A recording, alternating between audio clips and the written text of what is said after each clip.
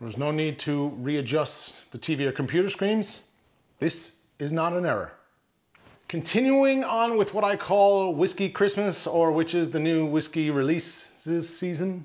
I'm not even sure that's a thing. I might have just created something there. Something a little special from one of Ireland's oldest whiskey distilleries and the world's oldest licensed distillery. Let's drink some whiskeys.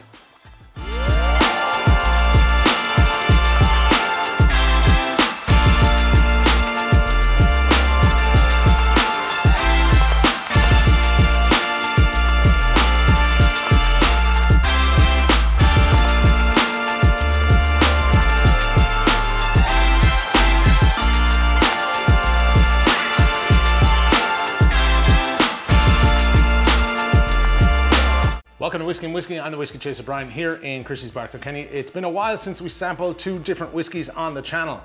We got a lot to cover, so let's get stuck in. I hope your week has been good, by the way. Not one, but two brand new Irish exclusive releases from the Bushmill Distillery. And I generally had no idea this was coming, but it is the season for new Irish whiskey releases, and it was a nice surprise, in fairness. This right here is the 1995 Marsala cask finished single malt whiskey and the 2011 Sauternes or Sauternes cask finished single malt Irish whiskey from the Bushmills Distillery.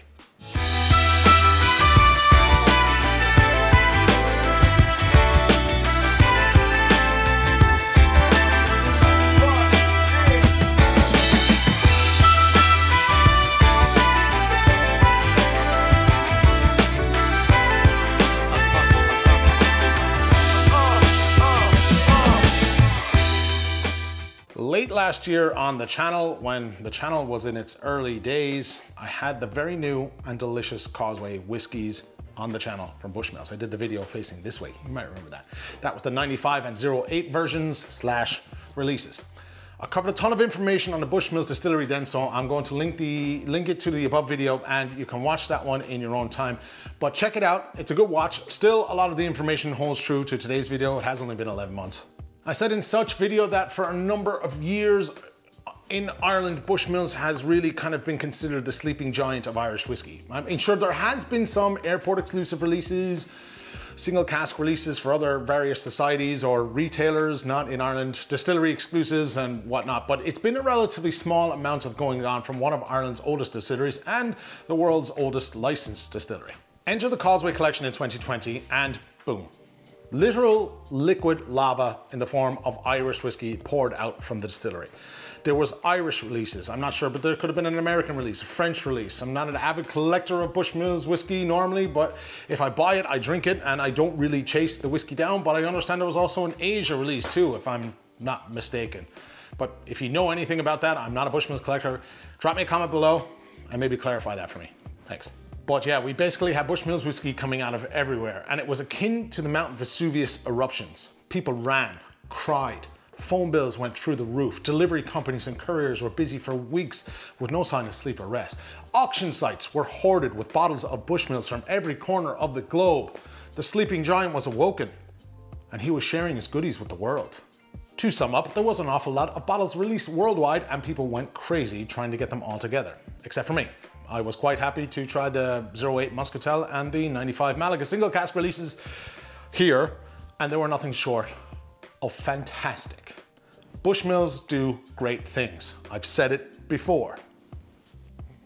So we take a jump 11 odd months later and we have the new 2021 Causeway releases. Two brand new Irish only expressions from Bushmills. I also read that there will be a whiskey release for a whopping eight different markets worldwide. And at the time of recording this video, there was a very sneaky picture revealed at Whiskey Live Paris for a 32-year-old port-finished Causeway release for Le Maison du Whiskey. That's all the info I have except that there were 228 bottles of that. Saw it on the label. Good luck to all those trying to chase them down. So jumping back to these two beauties, and I'm seriously excited for this. I love Marsala finished whiskies. It's a beautiful fortified wine. And a whiskey, any whiskey that's been finished in it, I've been a huge fan of. And there's been a few. Some from Walsh Whiskey, Irish Distillers, and others, of course. Uh, we also have the Sauternes cask finished too, which is interesting. Sauternes is a region in Bordeaux that produces this sweet wine. And to date, anything I've had with Sauternes finish or Sauternes um, has been from the Teeling Distillery. I don't normally see too many of them in the wild, to be honest. Sauternes finish whiskies. Me, Irish. As with all of my tastings, I'll give the breakdowns of each before trying. I'll give you my notes and then obviously what I think of them from an enthusiast perspective. These bottles were provided to me from the bar here and they are obviously available here by the dram, as is all the whiskeys I drink basically here. If you appreciate the finer whiskeys in life, be sure to subscribe, like, and share this video to friends and family and whiskey lovers around the world. Turn the notifications on so you don't miss a video uploaded every Wednesday at 5.15 Irish time. Just dawned on me. You always have to make a stupid face when you're trying to open a bottle of whiskey. And we pour the 2011 Sauternes. And I spilled some. The 2011 Sauternes cask uh, was first aged for over seven years in Oloroso sherry butts and bourbon barrels and then in uh, rare Sauternes wine cask for two years. And I've read online that this is the first time that Bushmills have used this type of cask for finishing. And the two years finish time in the Sauternes cask is seemingly unprecedented. They don't do it for that. I don't know much about that side of things, but Anyway, this is a non-chill filtered 56.3% ABV single malt. That is extremely limited. I have no idea of release size as they kept that very, very quiet. Obviously triple distilled, no idea if there is coloring this. It is a possibility, only released for the island of Ireland and this one for a price point of 110 euros. I've given it a little bit of a chance to breathe. I'm gonna give my notes. Oh. On the nose, undeniably Bushmills, but the first thing that stands out to me is like a pear. Very, to me, forward. There is a very much kind of sweetness at the front of this before you hit the pear and it's incredible. It's very fruity forward. That sweetness is very fruity. It's transitioning then the whole way as it kind of opens up a little bit more. You know, you're obviously getting your, your vanilla. That pear note just sticks out so much to me. And a hell of a lot of sweetness. And there's a, a little bit of a dark note in there, kind of. It could be the cask. I'm not overly familiar with Sauternes or Sauternes um, finished whiskies tiny bit of nuttiness towards the end, little bit of spirit coming through, which, or that, uh, not spirit, sorry, excuse me, uh, spice. Not overly spicy, doesn't come across as a spice bomb by any means, but very fruity. The pear stands out the most for me. It's stuck in my head. I can't really get past that. But very sweet from the fruits. Um, that Bushmills uh, note behind it, the single malt. Oh, interesting. Okay, that opened up a little bit more there. A little bit more of the nuttiness now, almost like a creme brulee at the end. And spice. Lovely. I'm looking forward to this. I'm a huge fan of single malt. It. Now, there's a lot of spice coming through that. Uh, straight away. You're also getting your fruit notes. Um, more so, the spice kind of hits me first. That's definitely lingering a nice bit. You have, of course, your vanilla, your sweet notes from the fruity uh, parts to the malt. Quite nice. Come on, snatch it. There's a wooded note there on the palate. Just came at the end there. There's vanilla. There's caramel. There's wooded notes. There's nutty notes. There's a niceness to that actually on the palate, nice finish. A sweetness, a woodiness, and the spice still hanging around. A nice bit actually. That's a, that's a great dram. For the price point, 110 euros for what? A 10 year old Bushmills finished in Sauternes or Sauternes, whatever you want to call it. There's not a little drop left here, Snatcher. Yeah, undeniably Bushmills.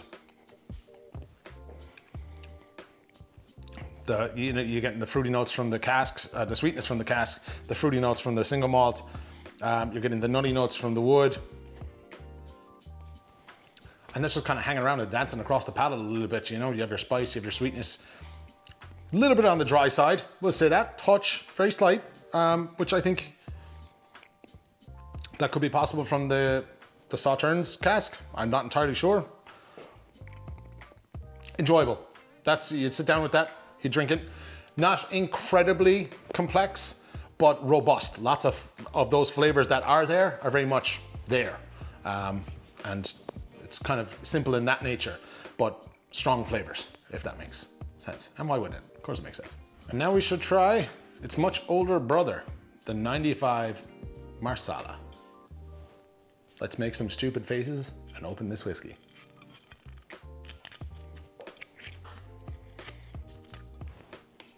You can't help but make a stupid face when you're opening a bottle of whiskey. I don't know. And we pour without trying, without spilling it this time. The 95 Marsala cask has matured for over 10 years in Oloroso sherry butts and bourbon barrels before being aged in Marsala casks that were sourced from the island of Sicily, obviously Marsala, Sicily, for 15 years. Again, the 15 years in Marsala is seemingly unprecedented. Uh, this is non-chill filtered, 57.8% ABV single malt that is again extremely limited and no definite numbers of bottles was provided to me. Again with the last one, triple distilled. Not sure on coloring, but uh, only on the island of Ireland is this release. And I do recall the 95 Malaga cask being a beauty of a whiskey when I drank it at the time of trying. So I know full well that I'm in for a treat. This is priced at a healthy 410 euro. Wow. So I've given a little bit of a chance to breathe a touch. And if this is, if the 95 Malaga cask is anything to go by, I'm in for a serious treat here. It's a 95 Marsala, single malt. I'm excited, I will admit that. Right, on the nose. Wow. It's so robust. It's so, it smells like syrup, almost like when you open a cap to, um, like I know it's maple syrup, but you know you get that rich syrupy nose that pops through immediately when you smell syrup. Except it's marsala. It's dried fruits. It's caramel. It's a little bit of those fruity notes from the Bushmills that, that is typical. Um, what I find to be, you know, uh, peach or pear and apple, kind of not so much the apple, but more so the, the pear. Huge influence from the wood. I don't find that very spicy. Uh, there's a touch of spice there in the background. It's hugely complex. Obviously, you're going to get that with uh, this age statement and this type of finish. Nutty notes, wooded notes. Uh, that is beautiful. That is incredible. How I words it's so good. I could literally, I could probably stay here all day nosing this. I can't because of time.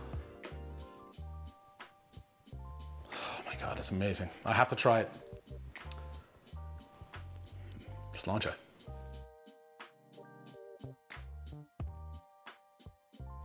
Mother of God.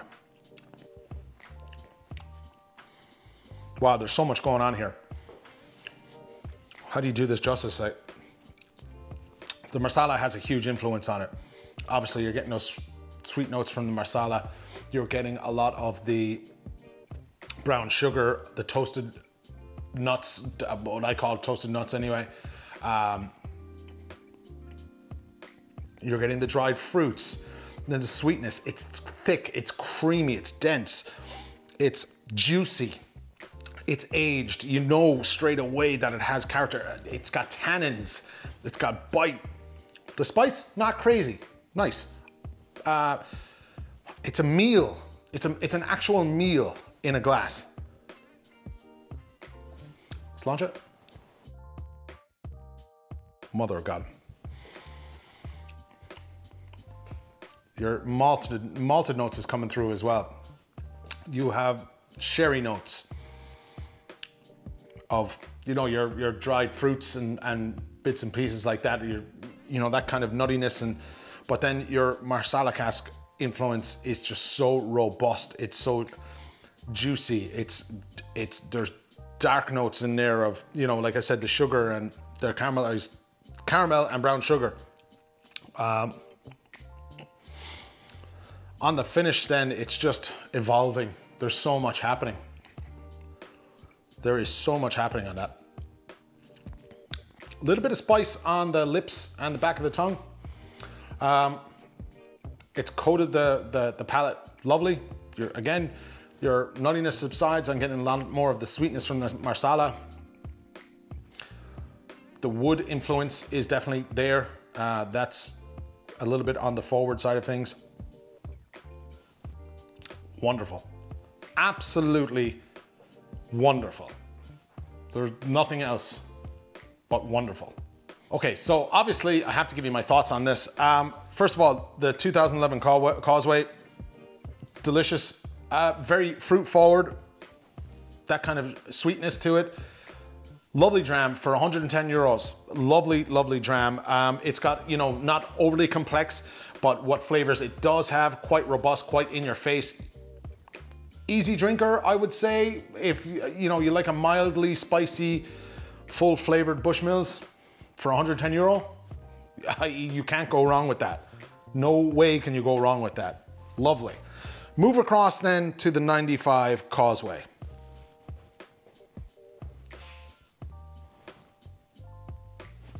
there's nothing I can say that it's absolutely gorgeous. It's, of course it is. Absolutely gorgeous. Robust, complex, long lasting, fruity. I mean, what, what more can you say? Uh, the Marsala cask does a, a fantastic job of bringing out some really lovely deep notes. Um, so well balanced as well. 410 euro, I know, I know that's a lot of money for a bottle of whiskey. And uh, these are exclusive to Ireland, these are rare. You gotta try it though. I mean, when you, when you crack that open and you see just how fruity, how robust, how delicious it is. Oh. I, dare I say you nearly save up for another bottle. I'm putting this on my Christmas list. That's how good I like that now. I actually like both of these. I would take both of these. Just saying, either one. And if you would like to sponsor me one of these bottles, by all means, my information and my emails are down below. Reach out. I'd gladly take one off your hands. There's no problem there. No problem. No problem. I love Bushmills. I love their single malts. They're fantastic. Bushmills are pretty much the king of single malts. You know this. Any of the stuff that they brought out last year, and I've only tried a few, a handful of the uh, 2020 Causeway collection. I didn't go mental on it. I didn't try a, a, whole ton of them. I had three or four, I think. I kind of remember now off the top of my head because I wasn't planning to say this, but um, what I tried, I thought was beautiful. How could you not? Uh, just, it's great to see this kind of output from the distillery um, with this type of variation. I mean, I can understand people might have it a small issue with saying, well, last year was the 95 Malaga and the 08 Muscatel, and this year is the 95 Marsala and the 2011 Sauternes or Sauternes. But get over it. Try them. Try them. That's all I'm saying. I'll leave it at that. I'll leave it at that. That's all I'm going to say. Beautiful. So shout out to the lads here in Christy's and many thanks for these exceptional drams today. As always, all thoughts are my own and I'm not influenced by any outside parties. I'm a Bushmills fanboy. Now, as I said in the last couple of videos that I did, this is a time for new releases. So keep an eye on the channel because there will be a lot of those new releases coming soon. Again, make sure you're subscribed. You don't want to miss out. Trust me. Lots of stuff coming. And I keep saying that, but it's true. That's it for me. I'm done. I'll see you all next time. Chase her out. Sláinte.